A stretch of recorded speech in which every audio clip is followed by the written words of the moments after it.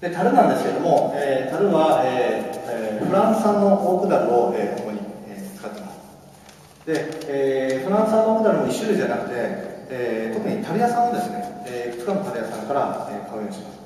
えー、樽屋さんの違いでですね、えー、やっぱりワインに与えるその特徴っていうのが、えー、変わってくるので、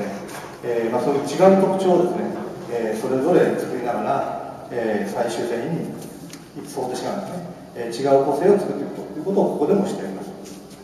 また、えーと、樽の材もですね、えー、一種類ではなくて、えー、特に特に言いますかあの、えー、フランス産のオークの中でも、えー、いわゆるセシルオークっていうですね目の詰まってるオークなんですけども、えー、そのオークの中でも、えー、産地があるので、えー、それぞれ違う産地のものを、えー、使ってます。